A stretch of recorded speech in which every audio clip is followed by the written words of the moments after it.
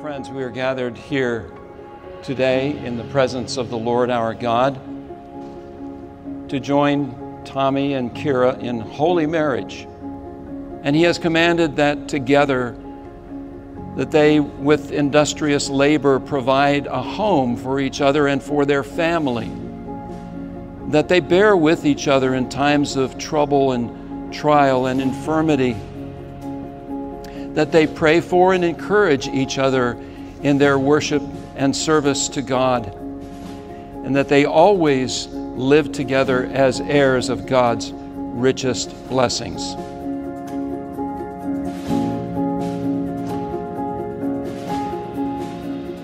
What does a father say when he's giving away his daughter? I mean, there's just so much emotion, so many thoughts. You want to say everything, you want to tell every story, but you just can't, right? And of course, our children to us are always the most amazing person on the planet.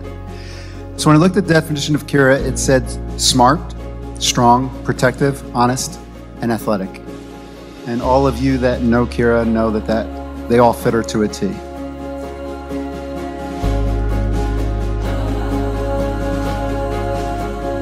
For those of you who don't know me, I am Brad, Tommy's older brother, and I also have the honor of being one of his best men along with our youngest brother, Matthew. Growing up, Matthew, Tommy, and I always wondered who was the favorite child. Well, after watching the wedding planning this past year or so, there's no doubt in our mind that Kyra is now the favorite.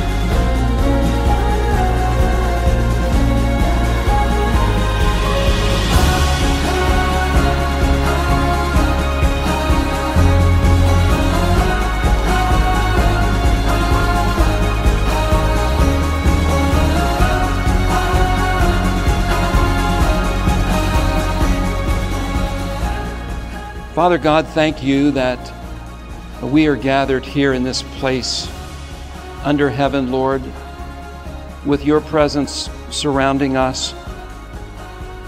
And I pray that Tommy and Kyra would especially feel your nearness and be reminded, Lord, that they not only pledge love for a lifetime to each other, but they pledge it also in your presence.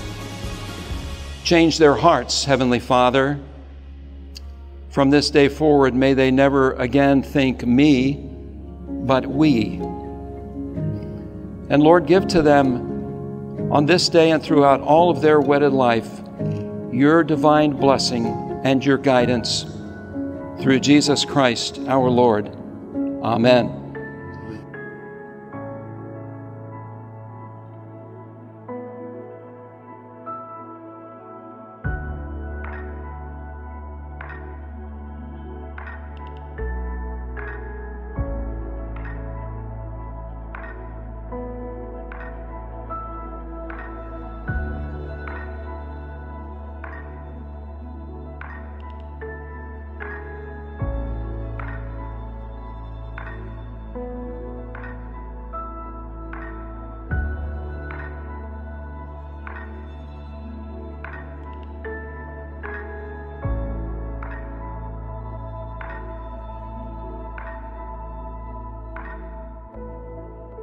For those of you who don't know us, my name is Chelsea.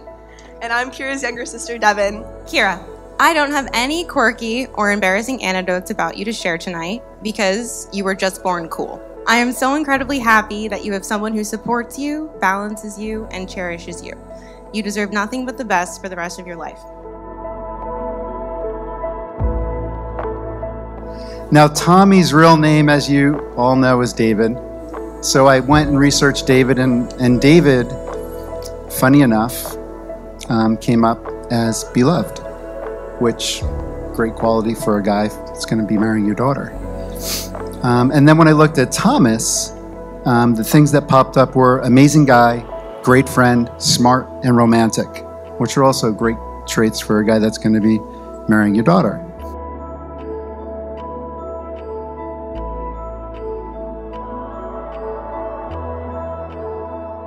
We will leave you both with this sage piece of advice from the great Albus Dumbledore. Differences of habit and language are nothing at all if our aims are identical and our hearts are open. Always remember that you are both on the same team, and remember this day on the harder days. You two truly have something special.